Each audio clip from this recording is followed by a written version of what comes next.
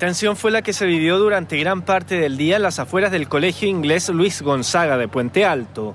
La muerte de una menor de 15 años la noche del martes, debido a un cuadro de meningitis, desató la preocupación en los estudiantes y apoderados.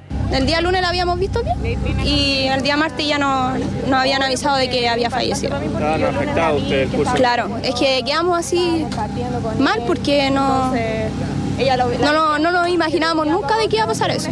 Yo la conozco, es parte de nuestra familia. O sea, ¿cómo no, cómo, cómo no vamos a sentir esto? Nosotros somos un colegio y los apoderados pueden decir que funcionamos como familia. Nosotros somos la familia Gonzaguina.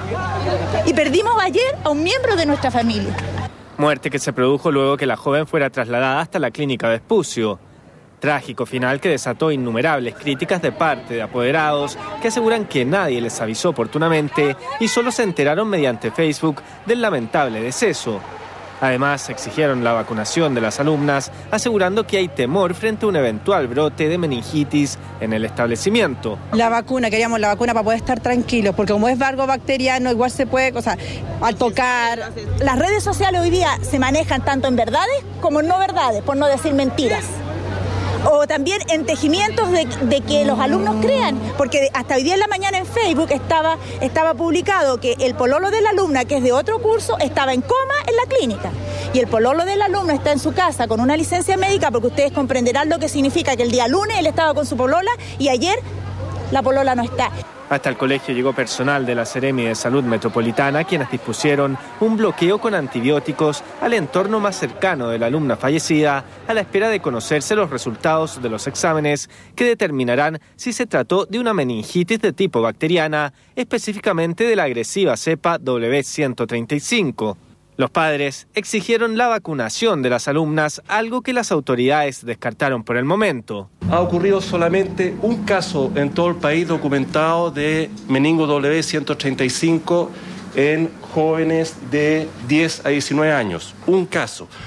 Es posible que el caso de esta muchacha del colegio sea el segundo, pero estamos hablando en todo el país de dos casos en una población de 10 años, porque estamos de 10 a 19, lo cual no justifica desde el punto de vista epidemiológico implementar una vacunación a todo el grupo de jóvenes entre 10 y 19 años para prevenir tan pocos casos. Me he contactado con el subsecretario de Salud Pública, que él está dispuesto a evaluar, según el protocolo que ellos tengan, eh, la posibilidad de las vacunas a las personas que sea necesario. Fatal caso que se suma a otros cuyo agente bacteriano se encuentra en análisis y pendiente de confirmación.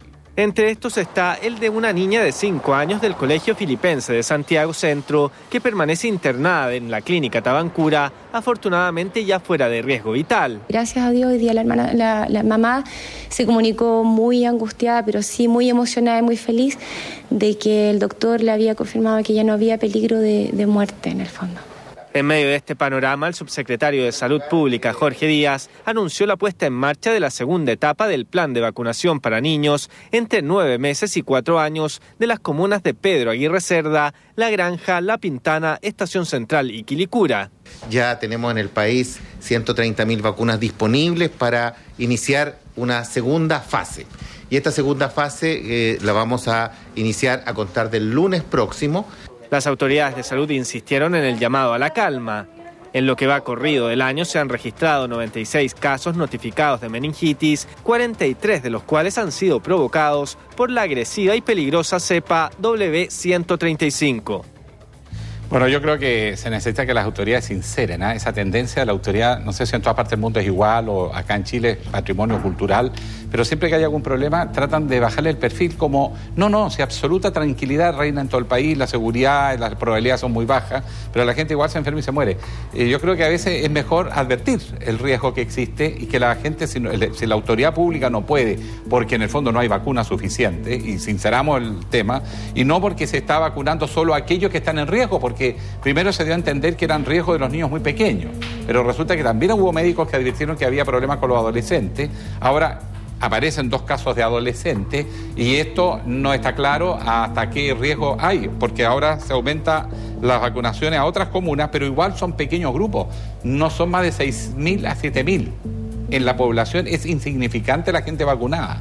Ahora, obviamente, en el caso de quienes han tenido contacto hay que tomar medidas excepcionales porque la probabilidad de contagio es muy alta y hay en el colegio apoderados quejándose que ha habido poca información.